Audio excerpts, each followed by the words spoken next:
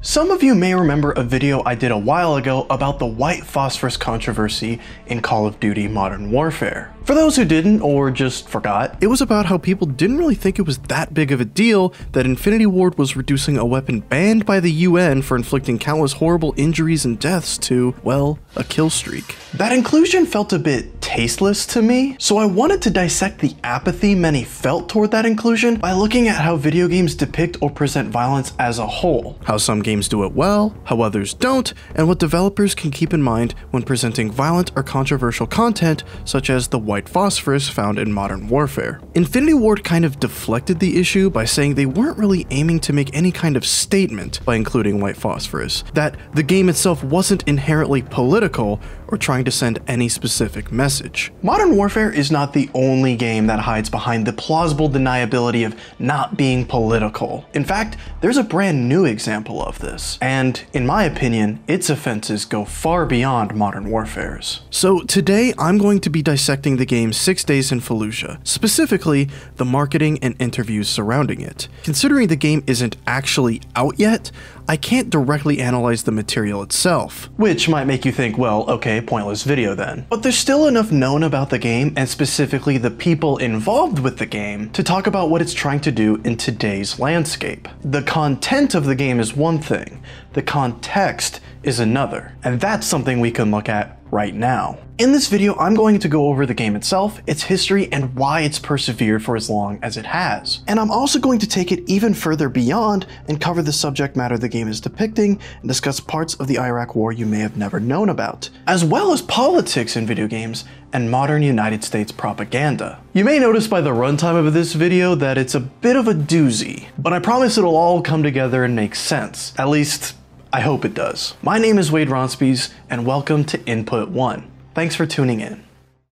Six Days in Fallujah was a kinda cancelled project set to be published by Konami in 2009, but it was sidelined due to the controversial nature of the game. The plan was to depict events specifically cited by first-hand witnesses from the Second Battle of Fallujah. Not only did people feel that it was a bit too soon to depict and gamify a battle that cost the lives of many American, British, and Iraqi government soldiers, but there was also the issue of trivializing the struggle on the other side of the battle too. The Battle of Fallujah wasn't a clear-cut one side good, one side bad ordeal. There were lots of terrible things that happened in that battle, not limited to the use of white phosphorus on and the outright murder of Iraqi civilians. It was a miserable and brutal affair. And in all fairness to the original product, I don't think it was trying to make light of the situation, but I think most people can agree that adapting the story of one of the deadliest military operations of the Iraq War to a third-person shooter isn't the most tasteful way to tell that story. There's an inherent goofiness to games, and I think even if we don't want to acknowledge it, we all sort of know it. It's kind of why it's easy to say I love movies when meeting someone for the first time, and a tad embarrassing to say I love video games in the same situation. And yeah, it's silly, but that's the simple simple truth of the matter. It's hard to make the sentence, I love video games sound normal in an average casual conversation. Unless, of course, you're talking to a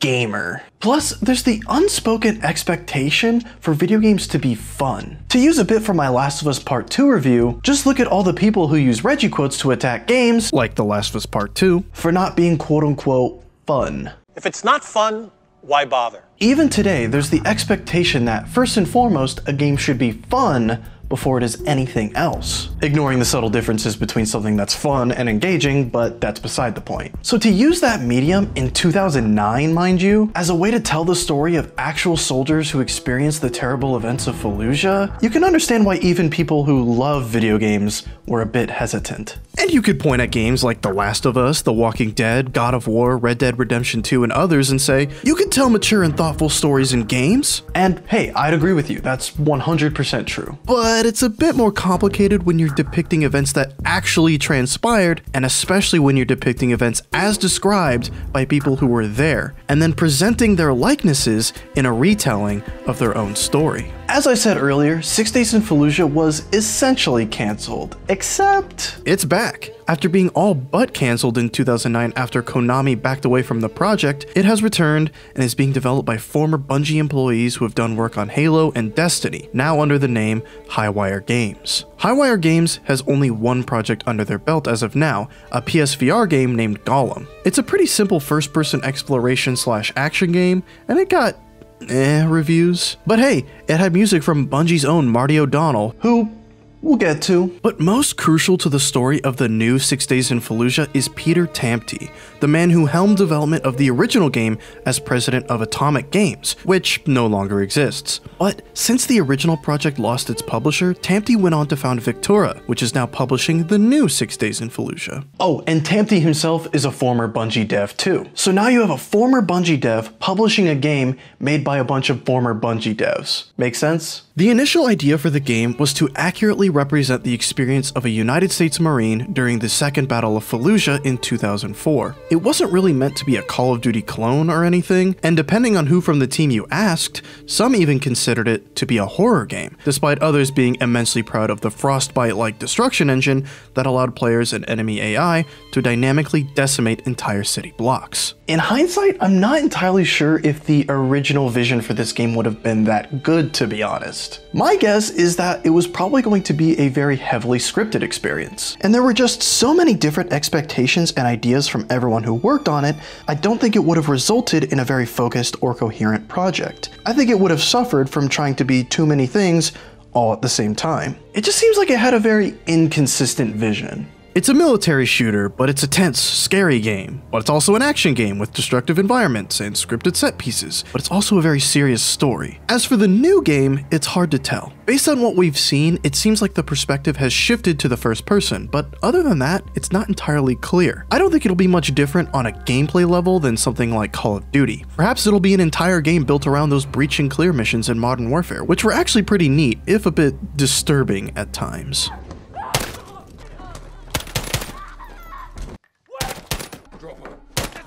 And that would kind of excite me if it wasn't for a lot of the issues I have with Six Days in Fallujah on a conceptual level. I can go over how it just kind of makes me uncomfortable to be playing a game based on something that happened in relatively recent memory for some people, and how the enemies I'd be shooting are kind of just dudes in their houses who are upset about the American military occupation of the city. And to be fair, the game seems to be a work of fiction just based on the real battle anyway. And I'm joking when I say that, but I'm also kind of not? Nah, I'll get into it in a little bit. Actually, you know what? Maybe I should just get into it now. Maybe it would help if I explained exactly what happened in Fallujah, and then why Six Days in Fallujah's revival is a bit sketchy. And I apologize if some of this is a bit basic and not getting all the gritty details down. I'm gonna try to keep this rundown a little short so I don't spend weeks writing and editing this thing, okay?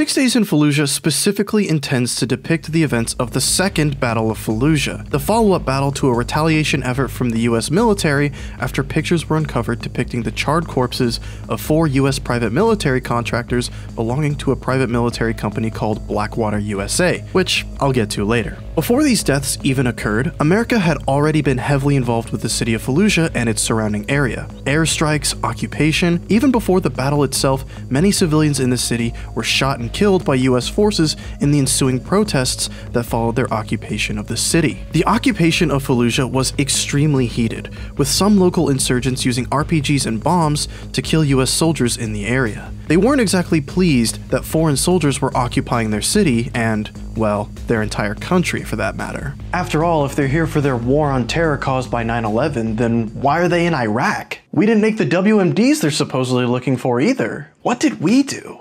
So the Blackwater killings weren't necessarily the sole reason America staged a quote-unquote pacification of the city, but it was a reason. Following the declaration that American forces would siege the city after the pictures of the Blackwater contractors were discovered, Fallujah was encircled by over 2,000 Marines, hit by multiple airstrikes, the roads in and out were blockaded, and soldiers began distributing material asking for any residents of the city to give up anyone involved with the Blackwater killings. This was the first Battle of Fallujah, and it was considered to be the first major combat mission of the Iraq War. It's estimated that over 50 Americans, around 1,500 insurgents, and 600 civilians were killed. It only ended after the US ordered local citizens to keep insurgents out of the city following the chaos. Not sure how they're meant to do that, but hey, their problem now. As for the second Battle of Fallujah, which is the battle that Six Days in Fallujah depicts, the number of local insurgents actually grew following the order for the locals to keep the insurgents out, which led to the creation of a coalition force between American,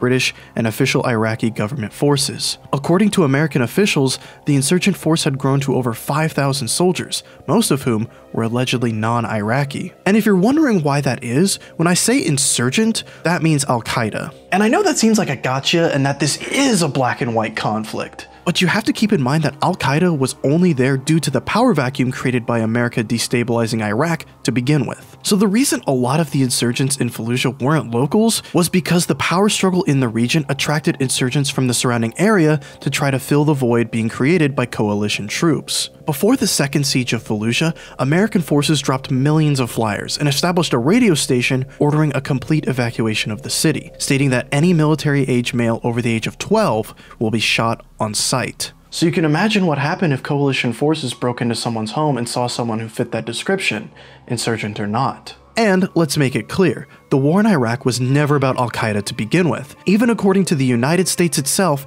it was primarily about the threat Iraq's non existent, mind you, WMDs posed to the world. I'm not going to go into raw detail over the battle itself though. I think the footage I'm showing here can give you a good enough idea of the kind of scale and destruction that resulted from the Second Battle of Fallujah. It was devastating to put it lightly. Over 100 coalition forces were killed and over 600 more were wounded. Around 1500 insurgents were killed or wounded. The Red Cross states that around 800 civilians were killed, despite over 200,000 civilians evacuating before the fighting began. White phosphorus was confirmed to have been used and has since created long-term health issues for many Fallujah citizens in the years after the battle, alongside the enriched uranium used in tank rounds the United States fired. The US denies the use of white phosphorus to target civilians, only enemy combatants, but even if white phosphorus was used specifically against enemy combatants, that's still considered a war crime by the Organization for the Prohibition of Chemical Weapons, an organization the United States officially joined in 1997. So the US had to have known, considering they literally joined an organization that deemed the use of white phosphorus a war crime. By their own definition, the American government committed a war crime. But unfortunately, that wasn't the only one. Videos emerged of US soldiers killing wounded Iraqi insurgents. Reports came out stating American soldiers forced military aged men back into the city only to be inevitably shot on sight later on. It was not a cut and dry good guys versus bad guys battle. It was dirty, messy, controversial, and an incredibly dark period for the people of Iraq who had nothing to do with anything going on. If you didn't evacuate in time, it was entirely likely for your door to be busted down by an American soldier and for your teenage son to be shot and killed. And then they would leave and do it again, door by door, all over the city. And you just had to accept it. Or you could take up arms and seek revenge however you could, which is also one of the reasons why the number of insurgents increased following the First Battle of Fallujah rather than decreased. By the end of the siege, Fallujah was in ruins after countless artillery strikes, fire bombings, and air runs. Nearly one out of every five buildings in the city was destroyed. Many of the civilians who evacuated the city didn't have a home to return to. Even if you look at it from the angle that the coalition forces were there to root out all possible Al Qaeda threats, the fact of the matter is that war crimes were committed during that battle, and that it had tons of terrible long term consequences for the innocent people living in Fallujah. The Battle of Fallujah is inherently a controversial subject, and it's been analyzed extensively in the years following its conclusion. You can't talk about Fallujah without acknowledging the truly terrible things that happened there. It's a package deal. And I'm not saying every US soldier was just walking down the street shooting civilians and bombing buildings. I'm saying that even if that wasn't the case 100% of the time, it doesn't change the fact that Fallujah is a very touchy subject. The act of adapting that story to a video game to begin with is dodgy, but to adapt that story and then claim that it won't be quote unquote political commentary, or to say, well, we're just depicting the stories we were told and none of those involved war crimes, it's kind of missing the entire point of the battle and how we look at it through a modern perspective, and the obligation we have to upholding the truth of reality. And come on, a depiction of a battle straight from the perspective of actual soldiers who were there, featuring voiceover from specific soldiers, and it's not political commentary? Got it. Bread, peanut butter and jelly, not a peanut butter and jelly sandwich. The stuff Highwire doesn't want to show is part of the Battle of Fallujah. It's why that battle has the reputation it has in history. You don't get to make a video game about one of the darkest moments in American military history and pretend it's not political. You can't say you spoke to dozens of veterans to create a historically accurate one-to-one representation of the events and then remove the parts that make the military explicitly look bad. You can't create an interactive docudrama and not call it commentary either. And that's not an exaggeration. The Steam description of the game states that each mission is narrated by a real person. The game has narration, or as it's also known, commentary. Political commentary, even. And really, it all comes down to how you define political. I think the reason so many creators specifically are hesitant to call their work political is because that would mean you're picking a side on an issue and potentially alienating a portion of your audience. But the only sides with a story like Fallujah is the side of truth and the side of falsehood. And by actively choosing to omit the atrocities of that battle, you choose the side of falsehood. And then there's the other way of defining what's political. In some circles, political is just a way of saying this game has gay people or this game has a woman protagonist. Gender and sexuality politics are the only politics that matter to these circles. And those are the only politics they dislike. Because whether or not they realize it, they probably love politics. They love the idea of societal and ideological conflict or influencing the future of specific areas and factions. Which, surprise, that's politics, baby. Fallout, political. Final Fantasy VII, political. Modern Warfare 2, political. Fire Emblem, political. Mass Effect, Deus Ex, political as hell. Skyrim, also political. There is straight up a scene that makes you mediate negotiations between the Empire and the Stormcloaks in order to put the war on hold while you deal with Alduin, the World Eater. I just made Skyrim political, sorry. The Last of Us Part 2 is also political, but not because it has two women as leads, one of whom who is gay. It's because it depicts a decrepit society and a multi-layered complicated conflict between the wolves and scars with no clear beginning or ending. It has a message about humanity, our inherent search for power, and the unending cycle of violence. And yeah, there's some gay and trans characters. It's not about how gay and trans they are, it's just a layer to the story. So when people say they wish games had less politics, well, I'll get to that later, so stick around, I guess. And then you have game publishers trying to maintain the illusion that their games aren't political. Like, for the love of God, The Division 2 literally takes place in Washington, D.C., depicts something often referred to by in-game characters as a civil war, and directly references American history pretty much anytime it can. And yet, Ubisoft was determined to make it clear that it's not political. It's so milk toast. What they really mean when they say their games aren't political is that there aren't any coherent messages or themes worth extracting from it, which, as I'll explain later, is still a message. Six Days in Fallujah is political. It is depicting politics in action. But because it won't make you think about the US's place in Fallujah and the aftermath of that battle, it's not political apparently. That's why I joked earlier that this game is basically fiction. Because without depicting the truth of what happened there, warts and all, you are essentially depicting a fictional event. You are doing a disservice to reality. And by saying my game about Fallujah is not a political statement, you are making a political statement. And that's before you realize why Six Days in Fallujah isn't really trying to say anything or show anything that might paint the United States in a negative way, and why it's coming back in the first place. It all goes back to a man I mentioned earlier, Peter Tamte. Peter Tamte is the founder and CEO of Victura, who is the new publisher of Six Days in Fallujah. In the past, Tamte had actually been contracted by the government to make software with the military. In fact, pretty much his entire history in game development post-Halo is involved with making military shooters and working with the government. Before Victura, he helmed Atomic Games, creator of games like Close Combat and Breach. And as for Victura itself, it almost feels like Tamte founded the studio specifically to get this thing out the door once and for all. Just cut out all the middle and release it. They don't have any other projects, they have no prior history, and as far as I can tell, they don't have anything planned beyond 6 Days in Fallujah. This is it. 6 Days in Fallujah is why Victura exists to begin with. And I imagine if Victura continues beyond this game, any future projects will probably also be military shooters. It does feel a bit shady, especially considering his history with the government, but Tamte stated that the reason he is stuck with the project isn't because the United States is funding it, it's just that he feels an obligation to all the people the team interviewed throughout the game's development and for the quote-unquote memory of veterans. Tamte insists that Six Days in Fallujah is not political. He claims it's about the human experience and not about the quote-unquote things that divide us. What he's trying to say is that he wants us to empathize with the soldier in the uniform, but not really get hung up on why they're there to begin with, despite a statement on Victura's Twitter account that suggests otherwise. And yeah, maybe by just showing the day to day of a soldier in active combat, that can say a lot about war itself and make players think about how bad it is. But when you look at Call of Duty, Battlefield, Medal of Honor, and more, and how they depict modern warfare, well, it's usually a fleeting thought and not much more. Putting your faith in this game to break the mold is a bit optimistic, in my opinion. Tamte says it's about understanding the human cost of war, but on telling the stories of the other side, he said this Very few people are curious what it's like to be an Iraqi civilian.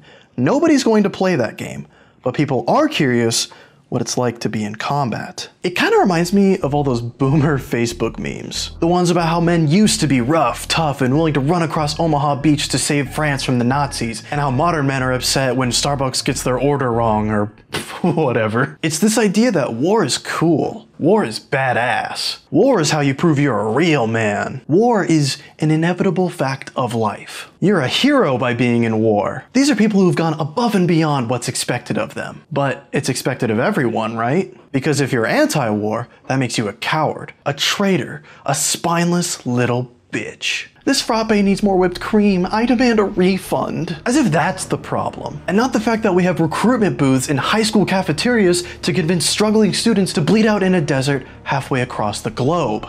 No, I'm not curious what it's like to be in combat. I think there's value in understanding that experience, sure, but that's why you have to criticize projects like Six Days in Fallujah that attempt to trivialize the harsh realities of war. The harsh realities that go even farther than seeing your best friend riddled with bullets, enemy soldiers decimated by shrapnel and entire city blocks razed to the ground. That's just the tip of the iceberg when it comes to warfare. That's the stuff you expect. And when Peter Tamte says very few people are curious what it's like to be an Iraqi civilian, he has to be intentionally ignoring games like This War of Mine and Bury Me, My Love that tell the gut wrenching and heartbreaking stories of what it's like to be caught in a war zone, and are undoubtedly much more impactful depictions of war than anything Treyarch or DICE have come up with in all their years. But yeah, okay, sure, bud. What he means is that it's not fun to be a civilian, which tells me that at the end of the day, he wants this game to be fun. And notice I use the word fun instead of engaging, because you can absolutely tell an engaging story about an Iraqi civilian caught in war torn Fallujah. I mean, it's basically been proven already.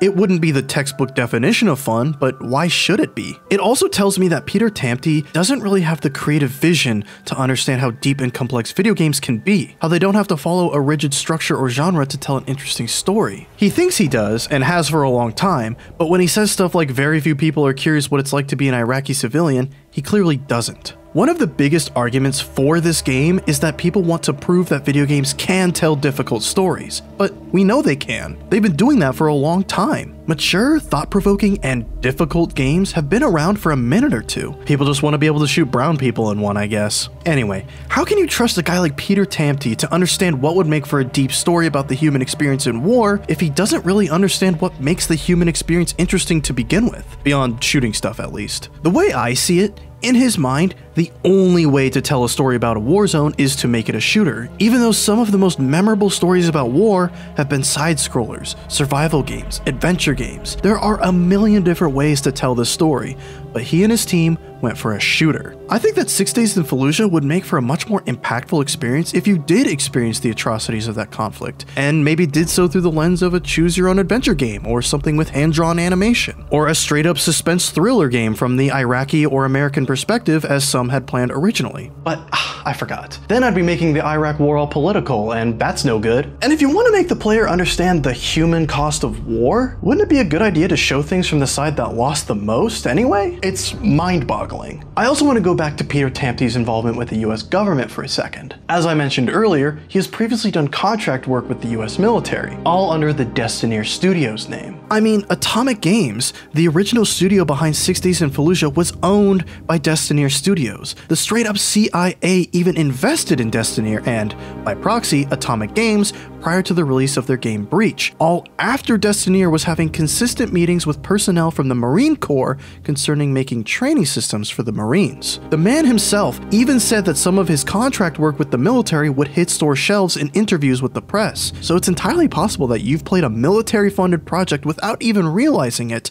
and not just projects from Atomic Games. Destineer and Atomic were fully on board with having their military projects go to retail. So why couldn't Six Days in Fallujah have been one of those? Some articles and sources even suggest that the Marines are the ones who suggested the idea to begin with. And Six Days in Fallujah's revival doesn't come out of nowhere either. Tamte has been trying to get this game made ever since Konami backed out in 2009, filing trademarks in both 2013 and 2017. I understand believing in a project, but holding on to something this long after a long series of losing publisher after publisher, well, the persistence is a bit strange. Now, Tamte claims that the US government isn't involved with the revival of Six Days in Fallujah, but judging by his history and his personal politics, including his political donations, well, that's kind of doubtful. Oh, and I'm not blindly accusing Tamte of donating to conservative causes.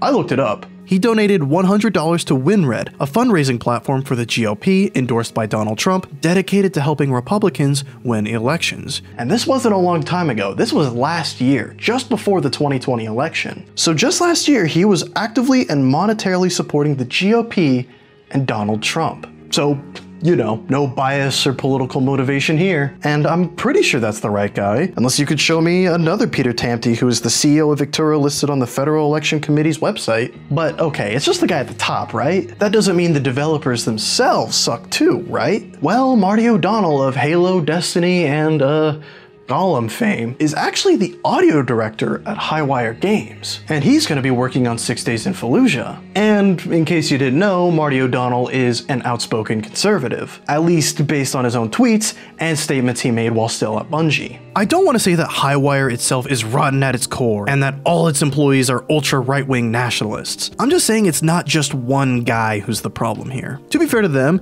using the same methods I used to find Peter Tamte's political donations, I also saw that all political donations from Highwire Games were dedicated to left leaning causes. I kind of empathize with the Bernie supporters at the company essentially having to make American military propaganda while working with Marty O'Donnell and Peter Tamte. Even if none of what I saw about Peter Tamte is true, even if my eyes deceived me, even if he was telling the truth and this game isn't being in part funded by the government, it sure has a lot of the signs that it is. Aside from his history making military funded projects and the potential chance that Six Days in Fallujah began life as something the Marine Corps itself suggested, a lot of the game's PR actually uses specific phrasing and terminology you would only get from something the military has some kind of involvement in. And okay, let's say the military isn't involved with the project and never was. It's clear that Peter Tamte, Victura, and Highwire Games are adhering to the specific standards that are expected of military funded entertainment projects. Specifically, notice the capitalization of the word soldiers in its Steam description, the same way the Army's official website capitalizes the word. And you know what other game capitalizes the word soldiers? America's Army. You know, the game that is explicitly created by the Army as a way to recruit gamers into the military. And it's not a secret, it is literally recruitment material. Even Wikipedia describes it as propaganda, which is how you know shit's fucked. Which brings me to the part of this video where I completely derail the subject and go back in time and talk about one of the parts of the Battle of Fallujah that is a whole damn thing, Blackwater, USA. Blackwater is its own can of worms. You could make a movie about this stuff. Blackwater USA was a private military company, just like the ones you see in Metal Gear Solid 4. Turns out, PMCs aren't just a part of Hideo Kojima's dystopian vision of the future. They're real, and they've been around for a long time. And I say Blackwater was a PMC, but they're still around, just with a different name. Blackwater USA is often blamed for escalating tensions in the Middle East due to their constant presence, all done independently of the US military. Oh, sorry independently of the military. While they're technically a private company, they were in the Middle East because they were contracted by the military to assist with specific operations. The United States knew they were there. In fact, they were paying them to be. So you have what are essentially rent-a-cops with assault rifles and armored vehicles operating with American cash in one of the most intense war zones in the history of the planet. They had helicopters, they were escorting local VIPs, and they were doing it all with tens of millions of dollars in their pocket, all courtesy of the US government. This wasn't just an Iraq war thing either. They were even active during Hurricane Katrina to protect government buildings from uh, people who are starving and the homeless, I guess. Nowadays, they operate in a much more limited capacity after countless hearings, lawsuits, and fines, some of which for allegedly smuggling weapons overseas, tax evasion, supplying foreign powers with military armaments, hardcore drug use, money laundering, killing Iraqi civilians, child prostitution, and even killing their own employees to keep them from testifying in court. It's like a gang in a frat house was given millions of dollars and thousands of guns to play around with. A private army made up of military rejects and gun range heroes from all over the world operating as an unofficial branch of the US military without any kind of government mandated training, all under the pretense that they're not mercenaries, they are loyal Americans. And you might be wondering why the military didn't do anything about Blackwater's involvement in Iraq. Well, it's because Blackwater, as a private company, gave the United States plausible deniability anytime Blackwater did something wrong. Oh, it wasn't us, it was them. Despite us paying them and allowing them to be here, but you know. And if Blackwater sounds weirdly familiar, even if you're sure you're just hearing about them for the first time, just last year, former President Donald Trump pardoned four Blackwater employees who were convicted of killing 17 Iraqi civilians and injuring 20 more in 2007. Not accused, convicted. Because why pretend to not be the bad guy, you know? And you might be wondering why I'm harping so much on Blackwater in the first place, and why it's even relevant to this channel, a channel about video games after all. Well, firstly, I just wanted to explain that, in case you didn't know, the Iraq War and the entire war on terror wasn't a clear-cut good versus bad situation. So presenting it as such is inherently disingenuous to actual historic events. It wasn't just limited to Fallujah. As for the second reason, the uh, Blackwater has their own video game. I'm not joking. And it was made for the Kinect. That is also not a joke. It cost money and was curiously free of any explicit war crimes. Just implicit ones, of course. It didn't review well, but like, holy shit, this happened. Which brings me to another thing brand image and propaganda games. I know the phrase propaganda games seems kind of silly. Like, come on, I think I would know if what I'm hearing, seeing, and playing is propaganda. There's no way anyone would actually buy something like that. But the entire idea of propaganda, at least in the modern era, is to implant ideas in your head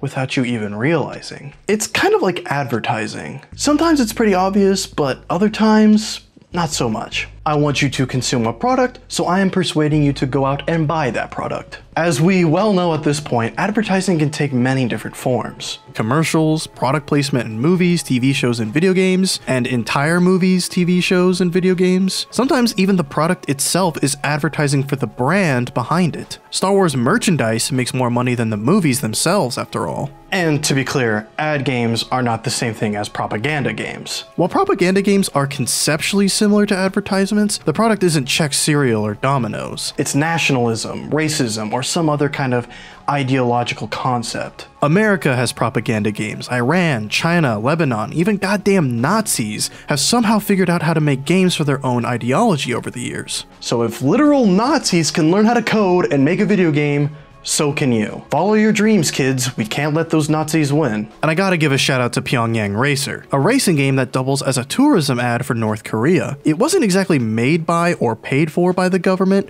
so it's not exactly a propaganda game, but it was made with the intent of creating interest in visiting North Korea. And just look at it. Amazing. America has an interesting relationship with propaganda these days. It's not the 1940s anymore. It's not so obvious as looking at a poster and thinking, well, if the government wants me to join the army, then I should probably join the army. And to be fair, World War II, despite setting the stage for one of the most complex political stages in human history, was a pretty simple conflict, at least from an American perspective. Clearly, the threat Nazi Germany presented was severe, and the Imperial Japanese Navy attacked a US Navy base. You didn't really need to do much heavy lifting to convince someone to join the American cause. Obviously, the lines get blurred when you think about the Japanese internment camps, war crimes, and recruitment of Nazi scientists during and after the war, but to the average person, it was a pretty clear and simple example of good versus evil. But these days, war isn't so cut and dry. It may have felt that way in the months and years immediately following 9 11, but it's been nearly 20 years since that day, and we're still involved with the Middle East thanks to something called the War on Terror. Even in high school, 2011 specifically, I remember this sentiment amongst my classmates that they were just kind of tired of this weird rhetoric that was going on around the War on Terror, and why are we even in the Middle East these days anyway? And this was in rural Nebraska. So imagine being the army in this situation. If average Americans and an entire upcoming coming generation of Americans aren't too huge on the current war, then how do you convince people to join the military? Well, you could lie and promise them free college, experience for jobs after the service, and a brand new Dodge Charger, or you could lie and use something called positive brand association. Something I want to touch on real quick before we get into this though is the difference between advertising and propaganda. Let's say you're proud of where you're from. Nothing wrong with that. I'm proud I'm from small town Nebraska. I feel that it differentiates me from most people in the gaming and YouTube space. I even think it's absolutely worth visiting Lincoln and Omaha, and I'd love to represent them in any way if I ever get the chance. Rent's cheap, the food is good, and the weather fucking sucks sometimes, I can't lie. Either way, I think it's perfectly normal to be proud of where you're from. That pride turns into propaganda though if I say something like, Nebraska is the best state in all of America. Sure, it's not perfect and it's had its moments in the past, but everything is a-okay right now. I think Pete Ricketts is doing the best job possible, and there definitely haven't been any race riots that resulted in straight up lynching and the public hanging of the mayor of Omaha. Nope, never happened. I also think the millions of dollars in political donations to Pete Ricketts and the fact that he's the son of a billionaire is actually great. And for the record, you definitely wouldn't be mentioning half of that stuff if you were making actual propaganda. I'm just giving an example of some of the things that might be omitted or outright spun in order to sound positive. Propaganda is intentionally misleading. The intent is to create a desired mindset or a specific attitude. And like I just mentioned, propaganda isn't just in the creation of material, it's also in the omission or rewriting of material too, specifically for ideological purposes. So, something like modern warfare rewriting the infamous Highway of Death to be the fault of Russia rather than the United States. And yeah, you could make the argument that in modern warfare, it all takes place in a fictional country. But to that I say, why create the exact situation all the way down to the name then? For a game that credits itself for being a harsh, brutal representation of modern combat, why would it take a specific concept from history and sanitize it in favor of the United States? Well, there might be an answer for that, but I'll get to it later. And if the Russian general bad guy in that game is undoubtedly the villain and the whole Highway of Death situation is partly to blame for that image, then wouldn't that make America the clear villain in real life for actually doing it? Eh, that's too much thinking for this game. Just shoot the bad guys. It's all good. It's all good. And God, don't even get me started on Black Ops Cold War. And to be honest, I don't think I have to. Oh, and as I was writing this, another cool non political thing happened in the world of Activision and Call of Duty. Activision Blizzard just recently hired former President Bush counterterrorism advisor Frances Townsend as executive vice president for corporate affairs. So, someone who was actually involved with the subject matter I've covered in this video now works with the publishers of Call of Duty. Not political, by the way. But back to Modern Warfare. Why the change? Why take an event with a defined name and change the perpetrator? Well, another layer to this whole thing is the fact that the US military doesn't often allow for the use of specific military branches, iconography, or equipment unless the media in question presents the US in a positive way. And that's because, at least in movies, any use of the US military, its branches, and or weapons, no matter how minor or insignificant, requires final script approval. To explain this, an easy example would be to look at Captain Marvel. Like, it may as well be a two hour long advertisement for the Air Force, but again, there's a reason for that. Film studios have to work with the military if they want to use military equipment like jets, tanks, uniforms, and weapons as props, and in doing so, they have to do that little thing I mentioned before called final script approval. If they don't like the script, change it. If you don't want to change it, then, well, no guns, no tanks, no jets to use as props, and no permission to even say the words Air Force. So they're definitely not going to approve something that, let's say, is critical of the Iraq War or explicitly depicts US soldiers committing war crimes. The military won't even allow any sort of allusion to the suicide or homeless rate of veterans. The screenwriters don't even have to come out and say it, but if the Department of Defense thinks that image might pop into someone's head, then that line has to go. That's why in a lot of recent movies, you have these squeaky clean and borderline religious representations of the military, especially in bigger budget movies. They're not going to stand in the military's way. In fact, they want the process of working with the Pentagon to be as smooth as possible. And for the record, I'm not sure if there's anything similar with video games. After all, video games don't need real props or to even use the actual weapons or vehicles. Plus, there are plenty of military shooters made outside of the US, so I doubt the American military could directly involve themselves with foreign projects. It's a bit of a gray zone, but that could be something that's already been happening for a while now, and we just don't know. But for movies, this gets even crazier when you realize that all this stuff applies applies to a film's marketing, too. There's a channel called Pop Culture Detective that has a great video on this, specifically in regards to Independence Day Resurgence, where part of the marketing involves going to a website and signing in with your Facebook account, and then voluntarily giving the army access to its information. As you do, seemingly innocent interactive ads, PR websites, or other kinds of tie in content can be produced in direct collaboration with the US military, specifically to subtly drive recruitment, regardless of whether or not you give them access to your account, though. But let's say you do use your Facebook account to log into one of these things. What do you think they're doing with your account? They don't just have access to all kinds of personal information. Now they can create advertising specifically targeting you for the sole purpose of recruitment. They have free range to find ways to barrage you with advertisements and material promoting the image of the military to make enlistment sound enticing. Like, after just a day of looking up army stuff for this video, I started getting army ads on random websites. So I can't even imagine what would happen in Google Ads if they straight up had your Facebook account information. There's also this thing in advertising I mentioned way back called positive brand association. Finally getting to that bit, where basically you connect your brand with another brand that you know people like, and your brand gets some of that same positive attention. It's a subconscious thing like Mountain Dew and Halo. KLI works on me. You can't have one without the other, right? That was intentional by Mountain Dew to make people, well, drink more Mountain Dew. You attach or associate with a positive brand people love, and people will associate you with that brand. And then they will in turn have a positive association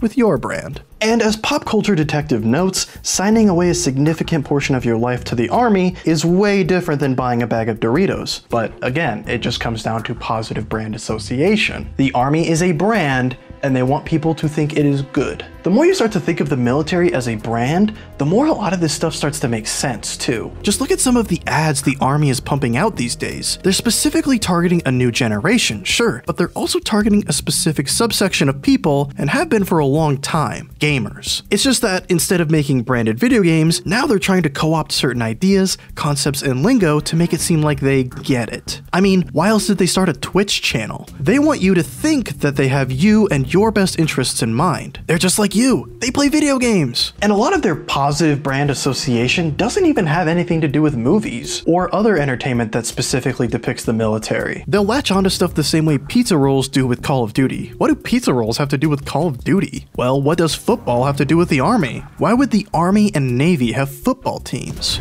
Seeing the soldiers on the sidelines watching us made me feel like I needed to push even harder because the work that we do on the football field is nothing compared to what they do for us. And to make it clear, everything they're doing here is a big lie. They just want recruits, and they're willing to lie to make that happen. The military knows life sucks in the military, but they don't want you to know that. They will lie about enlistment bonuses, college tuition, work hazards, but I'm getting away from the point here. The reality is, to quote Pop Culture Detective, fiction can be a very powerful and very effective way to influence people's actions and attitudes. People love video games for a reason, you know? They're fiction, and they undoubtedly influence people's emotions both negatively or positively. Just look at how many people shit on Neil Druckmann on a daily basis, or how many people, like me, fight so hard to get people to play stuff like Yakuza or Shin Megami Tensei. Fiction affects us, whether we want to acknowledge that or not. Which is why it's dangerous to simply accept games under the pretense that, well, I just don't want to think about politics or hard stuff or whatever. Even fiction that seems apolitical will affect you in some way. And when that fiction is depicting a falsehood, it has the dangerous opportunity to influence and or reinforce your attitude or opinion on certain people and ideas. Which is to say, it has the opportunity to be propaganda. The military knows the power of fiction. Nazis know the power of fiction. We know the power of fiction. Just look at how many people get Legend of Zelda tattoos or travel the country just to sweat profusely in an expensive cosplay of an anime character at a convention. Or at least how they used to. But when that power is used to misrepresent events and ideas, on purpose or not, it can have a similar effect. But instead of inspiring you to go for the half tuck so you can look like Nathan Drake, or to buy an expensive figurine of your favorite anime waifu, it can influence you to accept falsehoods, minimize atrocities, resist anything with powerful messages, and even affect your perception towards women, people of color, or people in the gay or trans community. I talked about something like this in a video series I'm deeply proud of called Growing Up with Gaming. In that series, I wanted to dispel the myth that video games cause violence, but I also pointed out that while video games don't cause violence on their own, they can implant ideas about violence in your head, and so can movies or music too. The idea is that after you play a violent video game or watch a violent movie, the likelihood that you think about violent things is increased. And while that doesn't have a direct correlation with actually acting on those thoughts, the fact of the matter is that those thoughts are there swimming around in your mind. Or at least it's more likely they'll be there. So I hope you can at least begin to understand the weight of using games to express certain concepts, philosophies, or other ideas. If video games can increase the likelihood of you thinking about violence, then why can't they increase the likelihood of you thinking about militaries, countries, and concepts like nationalism in a positive way, all without you even realizing? It's a scary thought, and it's why I feel it's necessary to call out games like Six Days in Fallujah and Modern Warfare for misrepresenting or omitting parts of our reality. Like it or not, this stuff has an effect on people. And as much as you probably don't want to admit it, you are not immune from it either. I think that's also why some people are so antagonized at the thought of games having pro LGBT plus messages, pro women or minority empowerment messages, pro income equality messages. They know the power this stuff can have on the mind, and they fear succumbing to it. It goes back to what I said earlier about how there are groups of people who feel that something is only political when it depicts more left leaning issues or representations of specific social and ethnic groups. I think it's because they fear having some of their views challenged or even outright changed. But just as video games can be used to spread negative ideas and false perceptions surrounding certain topics, they can also be used as a source of positivity and learning. I gave some examples of some positive influences just a few moments ago, like changing your style to match a certain protagonist or getting a tattoo of your favorite game, but it goes so much deeper than that. It can be adopting certain character traits of a character you admire, like the drive and motivation of a strong protagonist, feeling less alone because you see someone like you on the screen, understanding different cultures and social situations, admiring the unique differences between certain places. These are ultimately good things that games and other kinds of entertainment can make you think about without you even realizing. Death Stranding is about the importance of human connection. Persona 5 is about standing out despite society telling you to blend in. Fallout is a warning about extreme nationalism and American jingoism. Final Fantasy VII is about being mindful of the environment and the role corporations play in destroying it. The Last of Us Part 2 is about the unending cycle of violence and how hard it can be to process grief and guilt. Yakuza 6 is about the legacies we leave behind and the impact we have on the people who look up to us. Video games have the potential to have really important messages about the human experience and our modern society,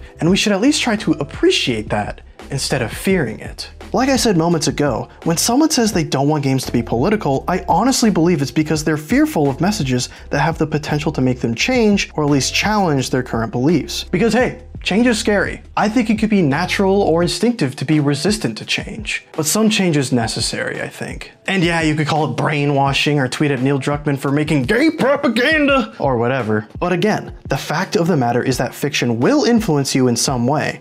And that's something that developers need to understand just as much as the people who play their games. When you say your clearly political game isn't political, what are you saying? Are you saying war itself isn't political? And like, people truly feel that way. And I think part of it comes from this illusion developers and publishers create in order to not antagonize people of certain political beliefs and keep them buying their games. And I think it's okay to not want every game to have some kind of message. It's okay to not want to think. Life is hard. Sometimes you need to turn your brain off and reset. But whether you like it or not, you are still getting messages. No message is still a message when it comes to entertainment, especially when you're actively looking for something lowbrow. It can send the message that even having a message is liberal brainwashing or whatever. So, to wrap this whole thing up and come to some sort of cohesive conclusion, is Six Days in Fallujah propaganda? It's complicated, but for a concrete answer, I do think it's dangerous. To omit harsh realities and present this infamous historical event in a heavy yet sanitized way not only sends the message that you don't want to push any buttons, but also that you're afraid to acknowledge hard truths that will challenge the way you think about an institution that has tried so hard in very subtle ways to look like the good guys. And for the record, I feel it necessary to say that Highwire and Victura say they'll donate a portion of proceeds from Six Days in Fallujah to organizations supporting coalition service members who have been most affected by the the War on Terror. As far as what organizations those will be, I don't know, but using the proceeds for your definitely not political game and then donating them to a totally apolitical cause like veterans affected by PTSD or homelessness, isn't that kind of a direct acknowledgement that your game is political? I guess the big takeaway from all this is just be wary of what people are trying to say with their games, and what they're really saying when they aren't saying anything. Every game has some kind of message, even if there's the illusion that there isn't. You are not immune to these messages, even if there isn't one. Think about what someone means when they say something is or isn't political, because sometimes by saying nothing, they're saying everything.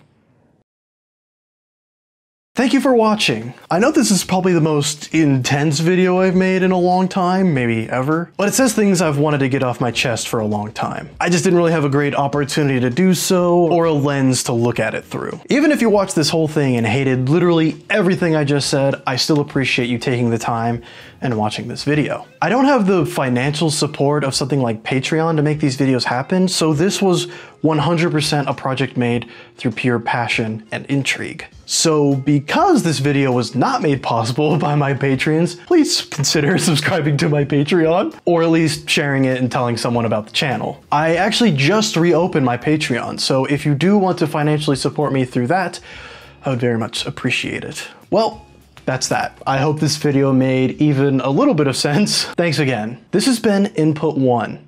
Stay tuned.